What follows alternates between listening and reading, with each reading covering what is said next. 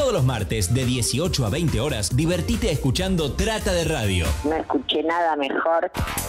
Porque al odio también se lo combate con humor. Trata de Radio. Por En Tránsito. Comienzo del espacio publicitario. Salga del Veraz y recupere su capacidad crediticia. Los mejores abogados especialistas lo están esperando. Estudio de datos. Más de 10 años sacando al país del Veraz. www.estudiodedatos.com.ar Llega una nueva opción para contarte lo que los medios hegemónicos no, te quieren, contar. El Cactus. Noticias del Oeste. Actualidad, deportes, cultura, política y toda la información que necesitas en un solo clic. www.elcactus.com.ar Cervecería Almafuerte. Elaborada en Castelar con los mejores ingredientes. Se impone por sus estilos atractivos y rotación permanente. Elegí Porter, Miel, APA, Irish Red, IPA en los bares del barrio o pedí tus botellas por Facebook. Cervecería Almafuerte. No hay tristeza si hay cerveza. En Tránsito presenta Decime que no me sirve luchar. Ya me estoy volviendo canción. Si estaban en Córdoba hace un tiempo. 30 artistas, 30 canciones, 30 años. Ya me estoy volviendo canción. La banda de sonido de tres décadas haciendo radio. Es un buen número el 6. Ya me estoy volviendo canción. 30 clásicos del rock nacional versionados por bandas y solistas nacionales, internacionales y del oeste del Gran Buenos Aires. El sábado Ya me estoy volviendo canción.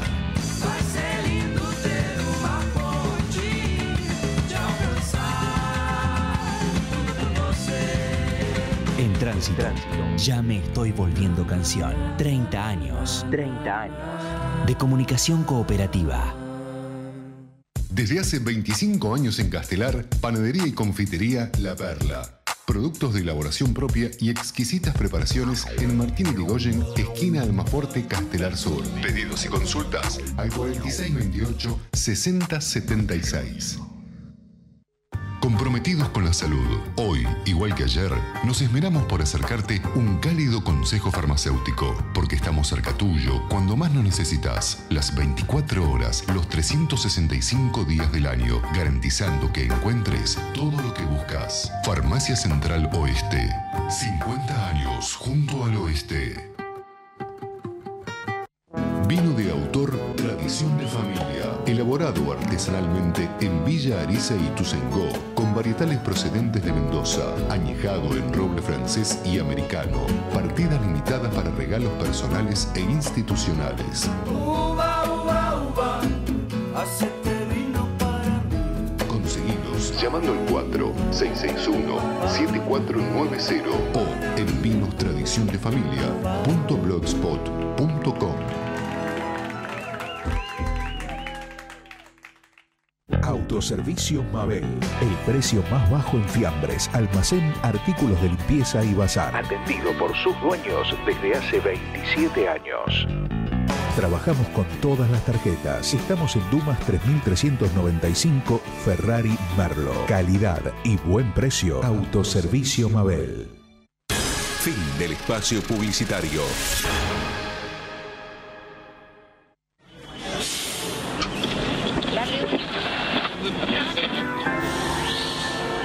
Al colectivo. Se suben los artistas. En un escenario, en la calle o en el túnel de la estación. Llevan la cultura a todas partes. con la espalda contra el fierro del pasillo y el barullo de motores y bocinas. Despiertan la imaginación y activan los sentidos. El flaco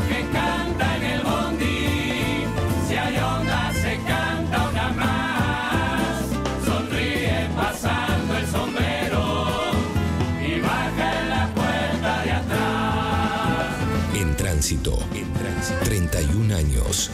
En el mismo bondi. Doctor Pastores, osteópatas, quiroprácticos y otras hierbas recomiendan escuchar Trata de Radio. Sinceramente no tengo ni idea. Escuché algo por encima, pero no voy a opinar de algo que no sé. No, no sé. Todos los martes de 18 a 20 horas, un baño de humor para tu salud.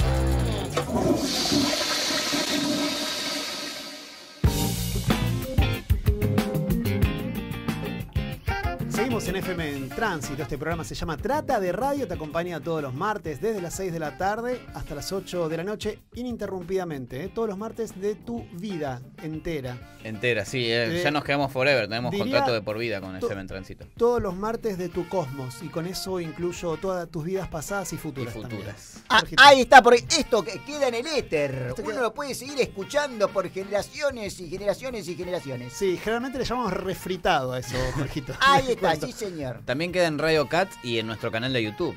Que Ajá. tenemos también. Así que cuando nos extrañen el resto de la semana nos pueden escuchar por esas vías. Está subida la entrevista que le hicimos al ilustrador e- y humorista Alexis Y. Moyano. Y actor Y también. animador. Y muchas otras cosas. Tenemos una consigna en el día de la fecha. Sí, les estamos preguntando a todos los oyentes y oyentas de este programa con qué libros se iniciaron en la lectura.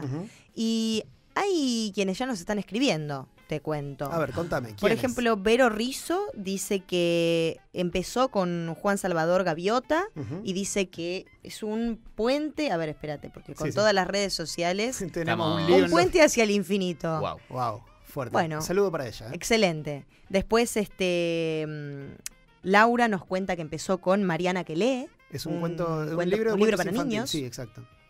Y después hay mucha gente que nos manda besos, nos manda besos Inés de Resistencia. Ajá. Se los contestamos con, con todo nuestro afecto. Sí. Eh, Marcos López. Marcos López. eh, Ahí está, el periodista que estaba antes acá en el Mantelito. programa. Ahí está Mantelito, el- el, no- Mantelito. el novio de Telvina. El novio de Telvina. Ahí está, sí señor. Eh, ¿Quién más nos escribe? Eh, acá al, al- al Insta nos está escribiendo, por ejemplo, eh, acá hay dos personas. Eh, Carla Polacci que dice, Mafalda, los minicuentos Viscontea, ¿te suena? No. Condorito. Y eh, Natalia Santos nos dice El Principito.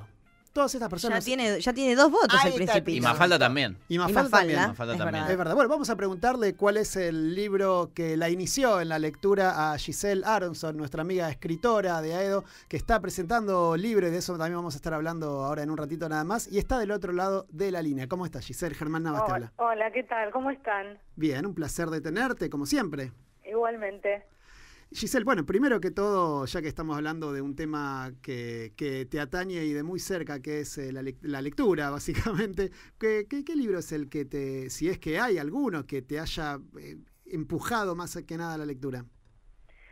Eh, la verdad es que no me acuerdo porque hace tanto de, de eso, digamos que no me acuerdo así cuál fue el primero con, que haya iniciado la práctica de la lectura en sí. Claro. Seguramente fue algún libro de lectura de de la escuela, de primer grado, pero no no tengo así un registro en cuanto a la lectura. Sí eh, puedo mencionar a Cien años de soledad, pero mucho tiempo después Ajá. y no como como un libro iniciático en sí mismo por la lectura, sino porque digamos fue el primer libro que me partió la cabeza y, y me hizo dar cuenta de la, de la posibilidad de creación de mundos tan tan maravillosos y, y tan disímiles a, la realidad sobre todo.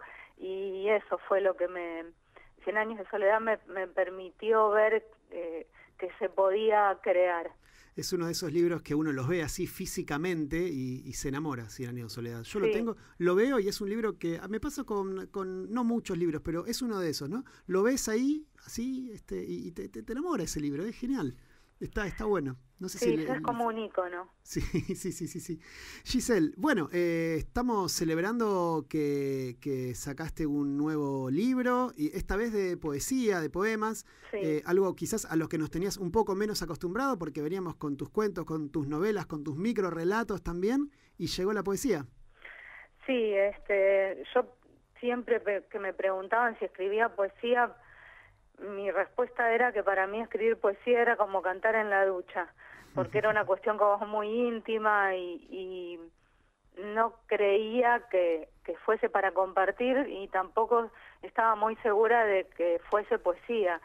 Y bueno, a través de, de esto hace muchos años, ¿no? Pero empecé el año pasado un trabajo específico de taller y me di cuenta de que ese material que tenía este se podía compartir y tuve muy buena devolución de digamos de, la gente del taller y bueno surge una invitación de de Halley Ediciones que es la editorial para publicarlos.